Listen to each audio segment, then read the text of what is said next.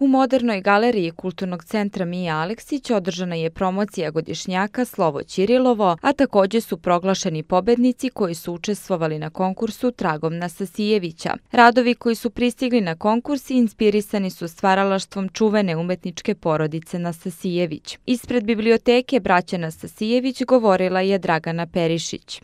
Stigli smo do kraja ovaj, da kažem, manifestacije Dane Nastasijević. Znate da smo tokom novembra predstavljali nove odnosno pisce, nove knjige, družili se sa književnicima, predstavili smo knjigu Moj životopis, bili smo sa pesnicima književnog društva Zapis, gost nam je bila Milica Vučković, a, bili smo, predstavili smo ovaj, zabeleške Mladena Žujović izdanje, znači knjiga izdanja biblioteke, a večeras je završno veče, znači ono svečano veče kada dodeljujemo nagrade a, najboljima po konkursu Tragom Nastasijevića, znači u oblasti eseja, priče i najbolje pesme i kada ćemo predstaviti naš godišnjak Slovo Ćirilovo. Znači svake godine a, Slovo Ćirilovo je znači, jedan kruna onoga što smo radili ili predstavljamo ono što smo radili u tokom protekle godine.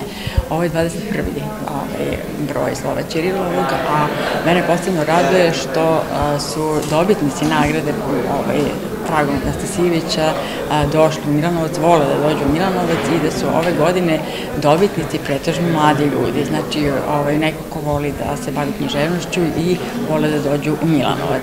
Tako da nam je eto drago, istrajavamo u onome što radimo već dugi niz godina, znači skoro 20 godina. Ovim putem se zahvaljujem svim onima koji su ovaj, učestvovali u ovim danima, bili naši gosti.